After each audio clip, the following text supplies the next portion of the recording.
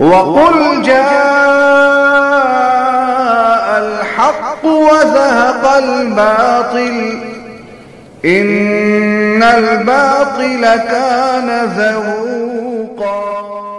जो हुक्म दे उसे अपना भाई ये फोटो क्यों ले रहे हैं आप मैं मना कर रहा हूँ सामने बैठ के फोटो ले रहे हैं उठ जाइए यहां से नालायक कहीं के शर्म नहीं मालूम होती बार बार कैमरा उठ रहा है। और ना हटाइए इनको सामने से मेरे। आप वहाँ से हट जाइए कहीं दूसरी तक जाइए। ऐसे बदतमीज लोगों के सामने नहीं बैठना चाहिए। हटाइए उनको यहाँ से। बार बार मना किया जा रहा है तो आप हजरात एहतियात करें। एहतियात क्या करें? आप भी नर्म लफ्ज लफ्ज इस्तेमाल कर रहे हैं। कौन सी मजबूरी है फ़ोटो लेने की? बंद करें बिल्कुल। ये हमारे उलमाए किराम की भी नर्म रवि है। सख्ती से मना नहीं करते फोटोग्राफी से। फ़ोटो खिंचवाते हैं बैठकर। लोग समझते हैं कोई हरज नहीं इसके अंदर। मैं फ़ोटो के साथ बयान ही नहीं कर सकता। मेरी ज़ुबान रुक जाती है।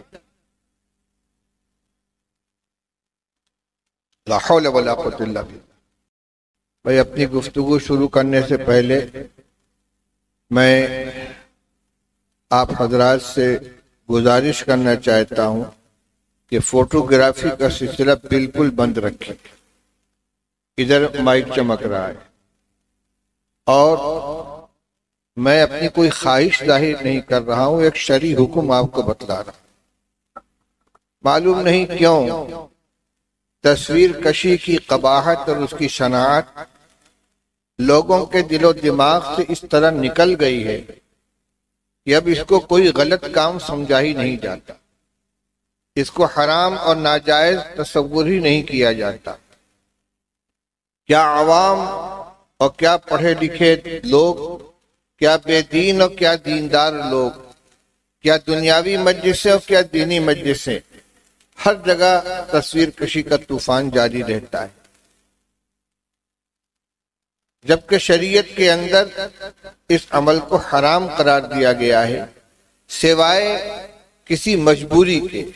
कोई कानूनी मजबूरी हो, कोई रिकॉर्ड बनाना है आपको, या अपनी शख्सी कोई ज़रूरत हो पासपोर्ट बनवाना है ड्राइविंग लाइसेंस बनवाना है, पैन कार्ड या आधार कार्ड बनवाना है, या और कोई इसी तरह राशन कार्ड वगैरह बनवाना है जहाँ फ़ोटो लगाना ज़रूरी है, वो एक मजबूरी है और जाब्ता है कि जो चीज़ किसी मजबूरी की बिना पर जायज़ हो, जिसकी इजाज़त दी जाए तो उतनी ही इजाज़त होती है जितने में वो मजबूरी, वो ज़रूरत पूरी हो जाए। उसके बाद उसकी इजाज़त खत्म हो जाती है। अहादीस से मालूम होता है कि तस्वीर कशी बहुत सख्त किस्म का गुनाह है और आखिरत में इसकी बिना पर सख्त तरीन अजाब दिया जाएगा। अपनी बात पहुँचाने की नीयत से मैं आपको तीन रवायतें सुनाता हूँ, जो पैगाम है नबी करीम सल्लल्लाहु अलैहि वसल्लम का।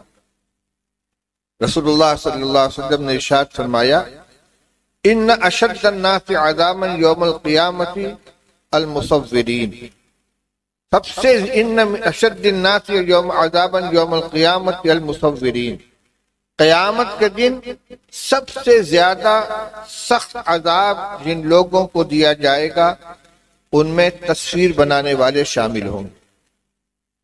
एक हदीस ने फरमाया गया कि कयामत के दिन महशर के मैदान में जहन्नम से एक गर्दन निकलेगी और मैदान महशर से उन लोगों को चुन चुन कर उठाएगी जो तस्वीर बनाया करते थे और उनको जहन्नम में ले जाकर डाल देगी।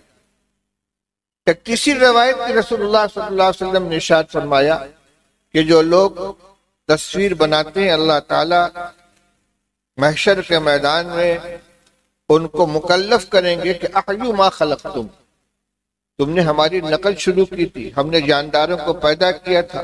तुमने जानदारों की शक्लें बनाई। खाब मुजस्मे की शक्ल में हो, या पेंटिंग की शक्ल में हो, या कैमरे की तस्वीर हो, या मोबाइल की तस्वीर हो, शक्ल जिसने बनाई है, जानदार की शक्ल उतारी है। अल्लाह ताला उसे फरमाएँगे, अहयू मा खलक तुम तुमने तखलीक की है, तुम खालिक बनना चाहते थे, अब जान डालो इसमें। ज़ाहिर बात है कोई जान नहीं डाल सकेगा, और इस पर उसको अजाब दिया जाएगा। ये वो रवायात है, जिसे मालूम होता है कि तस्वीर कशी रसूलुल्लाह सल्लल्लाहु अलैहि वसल्लम को, और आपके शरीयत के अंदर उनको किस कदर कभी और कितना खराब करार दिया गया। बुखारी शरीफ की रवायत है कि फतेह मक्का के मौके पर रसूलुल्लाह सल्लल्लाहु अलैहि वसल्लम जब हरम काबा में पहुँचे हैं तो खाने काबा के अंदर बुत भी रखे हुए थे और तस्वीरें भी बनी हुई थी दीवारों के ऊपर।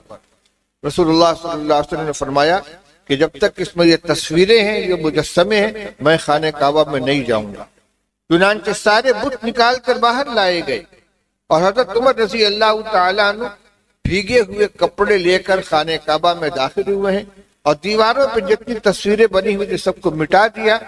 जब रसूलुल्लाह सल्लल्लाहु अलैहि वसल्लम को इत्मीनान हो गया कि ये तमाम की तमाम तस्वीरें खत्म हो गई हैं, तब रसूलुल्लाह सल्लल्लाहु अलैहि वसल्लम घर में दाखिल हुए।